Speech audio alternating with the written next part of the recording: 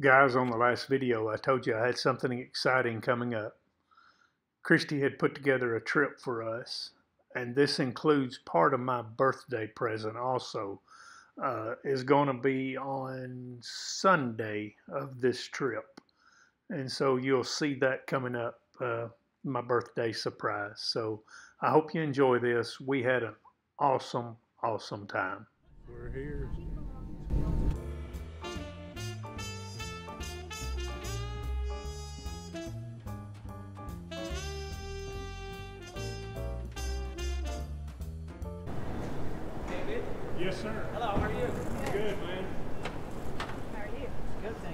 Good to meet you. How are you? Yes, sir. Good. Uh, Kevin? Well, this is our first time to Vegas. We're in Vegas. Where are you from? Russellville, Kentucky.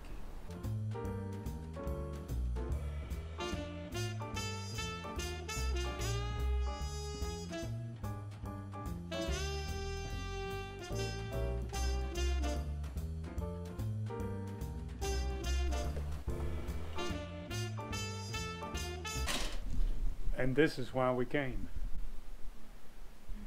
To see Brooks and Dunn and Reba McEntire.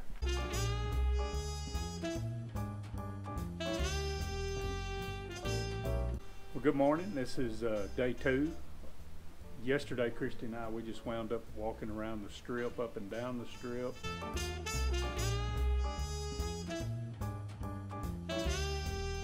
And we came upon a Michael Jackson show uh, where was it at? Man, no, that- Mandolin Bay. Mandolin Bay. Mandolin Bay. Mandolin Bay, and boy, that was really, really good. So we're headed out today uh, to just see what we get into, and into.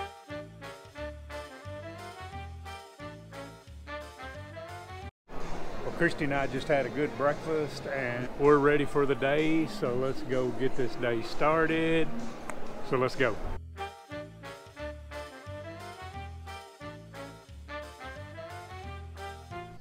Coming into the old part of Las Vegas.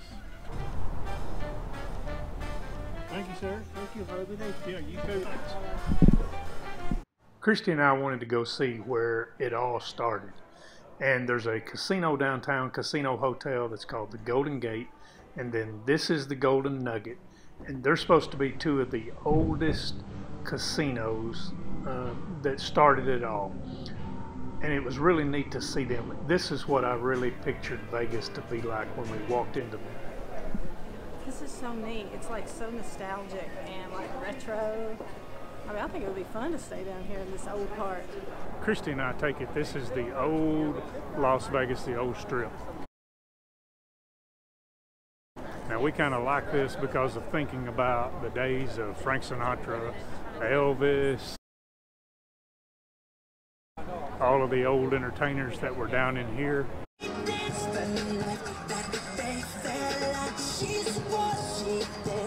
on, bring that five over here. Don't you be shy. Thank you. Try and talk Christi into let's get married Again, again. Yeah, Grace. Graceland Chapel. Wedding Chapel.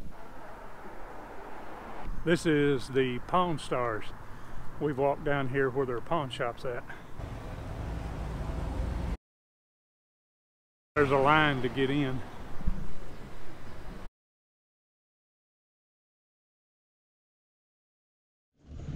Christi and I are trying to get woke up. So. It is 5.55 in the morning, Sunday morning. This is part of my birthday present. We're going in a helicopter to fly over the Grand Canyon and going down in the Grand Canyon. This is his birthday present. I did good. We're supposed to meet them this morning under the Planet Hollywood sign. So we sit and wait. Now, Christi and I got here about 40, 45 minutes too early because we were so afraid of being late. And finally, it arrives. Here we are, our van. How you say it? Papillion. Papillion. This is us.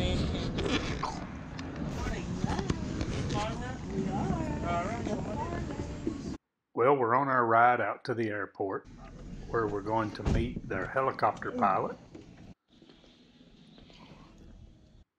Here we're going out for our briefing. From the pilot, we had a super, super pilot. He was really, really nice. Now, Christi had set this part of the trip up behind my back. I did not know she had done this. She did not tell me until the day before we were leaving because she needed to tell me so I'd be prepared as far as taking the right kind of clothes to be out in the desert and the right kind of shoes. This helicopter flight was just beautiful flying over the desert. We flew over the Moab desert and there's just nothing there. Here is Hoover Dam and he flew us around Hoover Dam and then told us a lot about that. Now we have arrived at the Grand Canyon and we flew for several miles down this Grand Canyon. If you've never seen it before, it, it is breathtaking. It is beautiful to see. The camera can't do it justice. I cannot do it justice with my words. Now we have landed here, and like I said, I did not know anything about any of this. We have landed here on top at a place on top of this Grand Canyon. I couldn't really describe it to you. It's it's beyond describing. The reason we have landed here is Christi had set this up. The pilot has our breakfast. And where he has landed, they have a little pavilion. They have a couple picnic tables up here.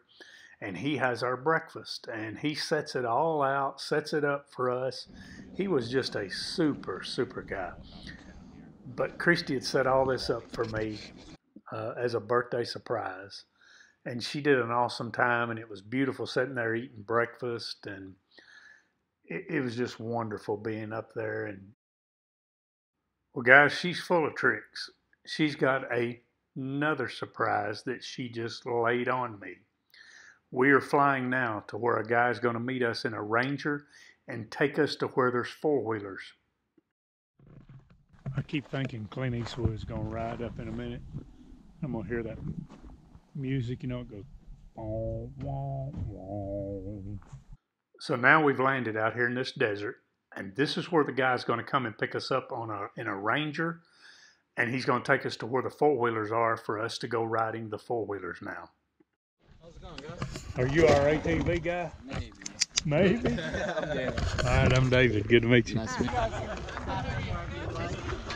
This is Montana. David, good to meet you, Montana. We're out in the total desert. Total desert with total strangers. We don't know whether they get home. Ah!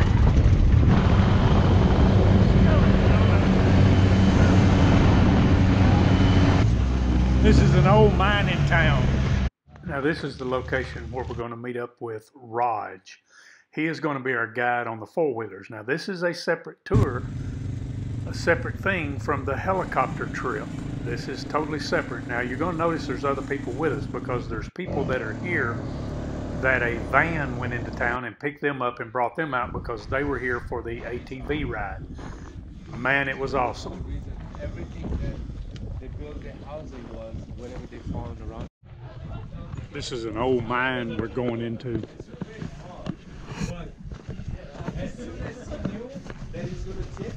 And she knew it's gonna tip, right? So somehow I have no clue. I, I, Now, while we're out on the ATV ride, Raj, he stopped us at a couple of different mines, and this is one of them. And we toured these mines, and this was really something to see. And they found some bones of where some of the miners didn't make it, and this is a reproduction of that. Just got back from our four-wheeler ride and uh, tour guide. I can't think what his name is, but I'll ask him here in a minute. But he was just so nice and kind and had a lot of patience with everyone. There was a couple of people on the tour that had never even ridden four-wheelers before. He was just so patient with them, would come over and help them and just kept encouraging them that they were going to be fine and all. And it just was a really nice, fun trip. We got to go really fast a lot of times. Sometimes it was some slow creeping moves, but we needed that because we were going uphill, downhill. But it was really fun, and so glad we did it for David's birthday. And we're going to eat lunch now. They've got lunch lunch for us.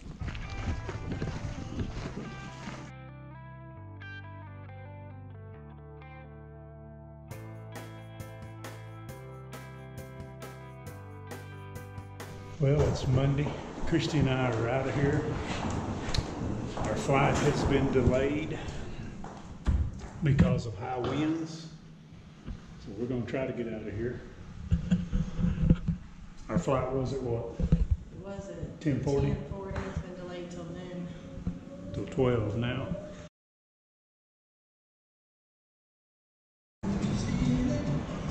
You Got your key?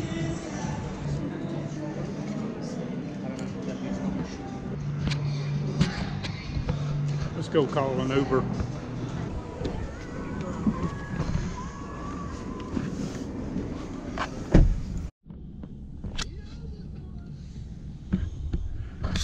Now, if you're in the lawn business, don't come out here. You might get some business trimming shrubs. They're laying rock. There is some shrubs, and you might get a job laying rock, but there is no grass. Well, we're still on delay. We were departing from D19. Now they've moved us to D4. Are we stuck in Vegas? I don't know. Guys, we're back home. We're in Nashville. We're headed home. We're like about an hour to be there. Good time. Good time. We made it. We survived it. To the airport now. And we don't have anything that we need to leave in Vegas. No, we didn't do anything we should leave in Vegas. So we had a good, clean time.